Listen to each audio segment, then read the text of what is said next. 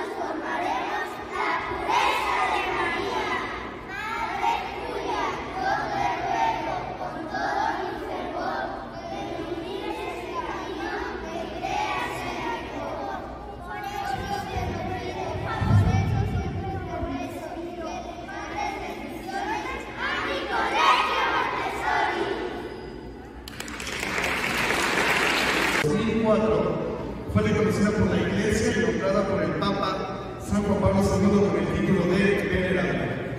Eh, demos gracias a Dios por la vida de la venerable Madre Juliana Marrete, porque ha logrado obtener la mejor recompensa, estar en la presencia de Dios y alcanzar la vida eterna.